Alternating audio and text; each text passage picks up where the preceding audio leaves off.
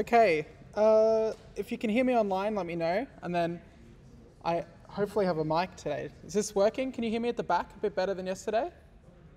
No? Hello? What about now? How do I get that so close? I don't know what to do there. Volume?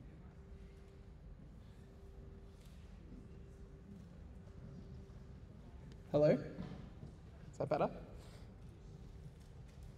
Okay, I'll try to speak up and. Oh, the camera. Yeah, good. Um, there's like 80 things to set up, as, as you can see. So bear with me a second. Um, okay.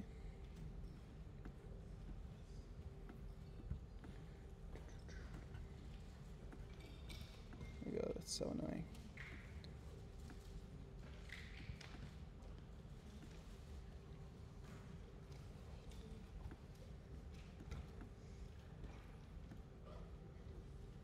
Um,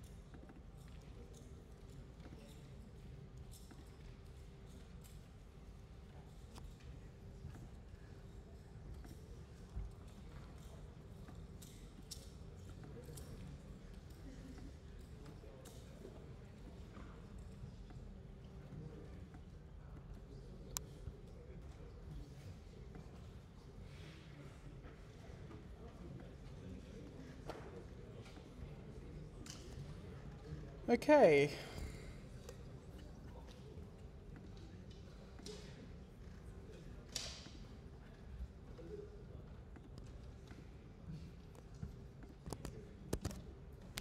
All right, I think we're there. Okay. All right, welcome back to lecture two. Um, we'll just get straight into it, basically. Uh, hopefully this stream's okay. Yeah, it's lagging a bit, I think, but do our best. Um, yeah, so thank you all for coming yesterday. For those who came and for those who are joining us for the first time in person today, welcome. And for those of you online, welcome as well. I'm hoping the lag's not too bad, but it looks like it might be a bit. Um, we're going to just get straight into it, into, into content. Uh, were there any questions from yesterday's lecture, or perhaps if you've had your first tute lab that's worth sort of discussing out in the open? Went okay? A lot of new content, a lot of new stuff to think about.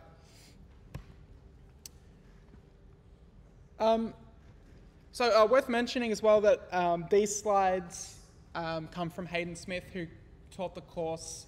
So this, this uh, Comp 1531 was rewritten from scratch last term, and these are adaptations or sometimes just the, the lectures from last term, so I'm just crediting Hayden here um, for the, the bulk of these slides.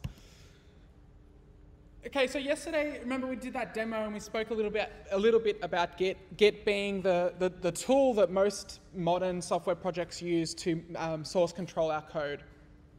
Um, and we did a very simple example where I created a, uh, I created basically a Git repository, and that Git repository, I distributed it to two systems. What were the two systems that I distributed it to? Someone hand or you just yell it? Or online? Remember we said Git is this distributed version control system. I distributed it in two places. What were the two? Exactly. One copy, well, in fact, I made the repository on GitLab, right, which is a Git server running at CSE in K17. And then I cloned that down to my local machine. So I've distributed that repository or that project in two locations. Um, but there was only one person interacting with that project, and that was me. What we're going to talk about in this first part of the lecture is the real benefit of Git, which is multiple people accessing the one repository in multiple locations. Does that make sense? And that's what you're going to have to do in the group project, of course, because there's four or five of you in the group, and you have to access the same code base, and you'll be working on different parts of it at the same time. So how do we use Git to do that? That's what we're going to introduce today.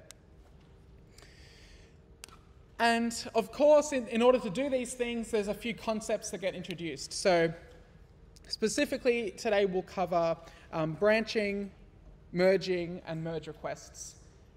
Who's done Git stuff before, probably using GitHub? A few of you. So in GitHub, you would call this a pull request. Um, GitLab uses the term merge request. I actually think the term merge request makes a bit more sense, but Git, GitHub is more popular for the terminology.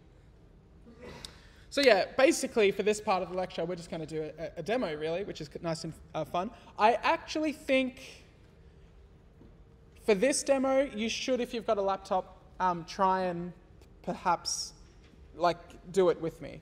Um, because it's something that you can sort of do. And I'll try and keep that in, in um, with the pace. But remember, you can always go and watch the video later to follow along if perhaps you get lost or you haven't set something up or something like that. Is the mic still okay at the back?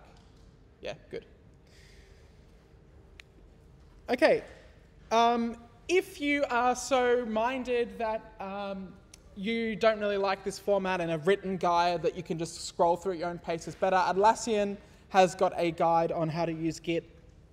You can just Google Atlassian Git guide um, later. Don't do it now. That would be rude. Or you can. Uh, we need to start thinking of our source code, right? When you let's think back to intro programming or whatever your equivalent was. You have some code, maybe multiple files. You make changes to the code, yeah, and you've got a new version. And then you make more changes and you've got a new version. It's linear, right? You can think of the evolution over time as tracking, but it's, it's a, a completely linear evolution. You could maybe go back and then make more changes and go forward. Um, branching